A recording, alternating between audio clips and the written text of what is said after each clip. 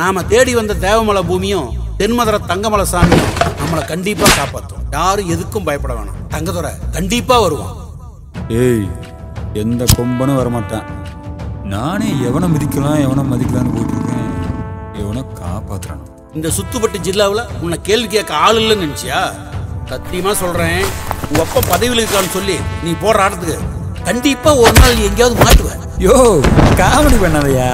நான் மாட்டவும் மாட்டேன். இவன் பேச்சையும் கேட்கவும் மாட்டேன். எனக்கு இந்த வளவள குலகல்னு பேசுறதெல்லாம் சுத்தமா பிடிக்காது. எப்படி? எனக்கு அதிகமாக கெஞ்சறதும் பிடிக்காது. அளவுக்கு அதிகமாக கொஞ்சறதும் பிடிக்காது. அவசரப்பட்டு தெரியாம அப்படியெல்லாம் சொல்லாதீங்க. ஏன்? உனக்கு என்ன? இன்னும் நக்கலா? ஏன்னா நாம ரெண்டு பேரும் சம்மதியாக போறோம்ல. டேய் பசங்க முன்னாடி அப்படி தாட்டா பேசணும். நம்ம நாலு பேர்ட்ட நடந்துக்கிற வச்சு தான் தராதரம் பிறக்கணும். அப்புறம் அந்த நாலு பேர் அழிக்கணும்னு அகம்பாவம் முளைக்கணும்? லெக் பீஸ் தான் வேணும்னு ரெண்டு டஜனை வாங்கி நல்லா கடிக்க தெரியுதுல. மாமா கொஞ்சம் பொறுமையா இருங்க. அப்போ மரியாதையா சொன்னா நீ கேட்க மாட்ட. அப்படிதானே ஸ்டார்ட் ஐயா சாமி. மகாராஜரே. இந்த பெரிய மனுஷனோட உறவுக்காரங்க யாருமா? ஆ வாங்க வாங்க வாங்க வாங்க. ரொம்ப அருமையா பெரியவரை வளர்த்துருக்கீங்கம்மா பட்ரோசா ஆண்டவரே இந்த பொண்ணை விட்டுட்டு அந்த பொண்ணு தூக்கிடலாம் தூக்குறது பெருசு அம்பிகா. அந்த பொண்ணு ஒரு டன் இருப்பா. ஏத்து ஒரு டன்னா? குட் ஜாப் புறப்பட்டு.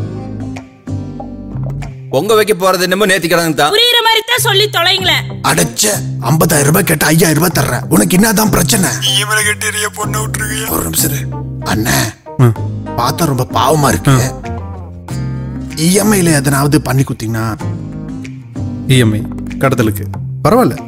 ஆ? ஒரு மேடி நம்பியிருக்கியா? இத்தனை நாளா எங்கடா இருந்தீங்க?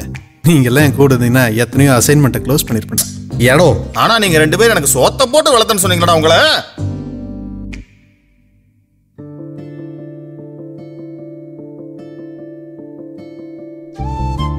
இன்னைக்கு மட்டும் உங்க பையன் மட்டும் இங்க வரலைன்னா என் குடும்பமானமே தெருவுக்கு வந்திருக்கும்.